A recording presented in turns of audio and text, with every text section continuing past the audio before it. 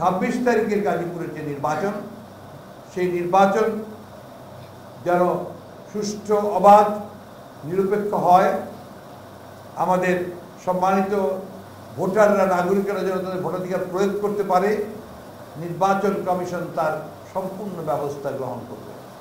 অন্যথায় নির্বাচন কমিশনের পদত্যাগ করা হবে। মোসাদ্দেক হোসেন বুলবুল সাবেক মেয়র। সাবেক মেয়র নয় বর্তমান মেয়র। আপনারা বরিশালের সাবেক মেয়র সংসদ সদস্য এবং আমাদের পার্টির আপনার জয়েন্ট সেক্রেটারি জেনারেল দেবু মহাসচিব এখানে ডাইলিউট অ্যাডভোকেট যাবে মুজিবুর রহমান সারওয়ার।